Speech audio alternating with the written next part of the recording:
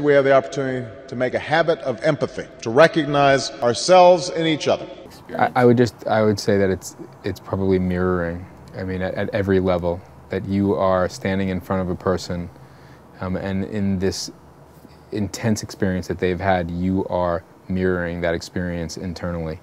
So if you could stand in front of um, a feelings and needs mirror, there would be someone on the other side who may not be mimicking your movements. It's not a visual mirror, but it's an internal mirror, and they are mirroring what you're experiencing. And then it has an impact on them. They have some insight into you. What they do with that is another issue, but then they have some insight into you, which generally connects the two of you.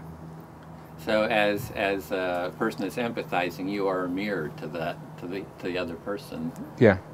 Uh, it, that that would be the deepest metaphor, uh, the most accurate metaphor I can. But it's it's again, it's not a visual mirror.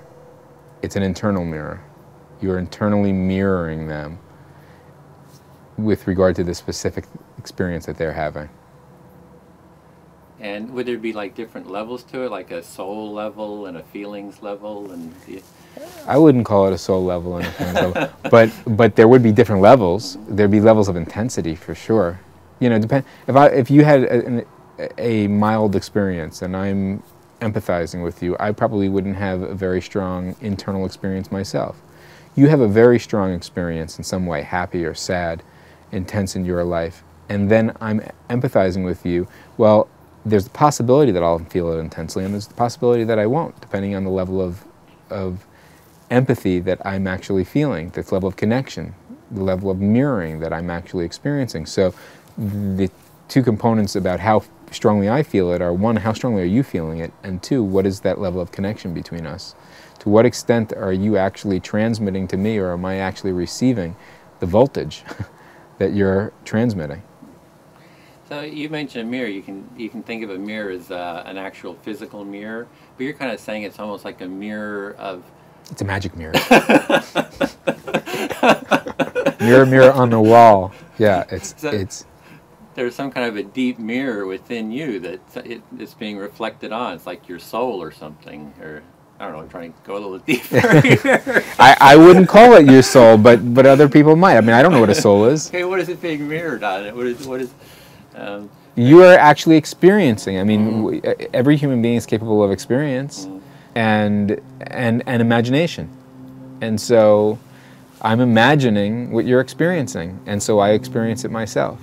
Can you recount a situation where you were a mirror like that and something that happened? It was oh, kind constantly. Like, an intense, like maybe a you know more peak, intense one.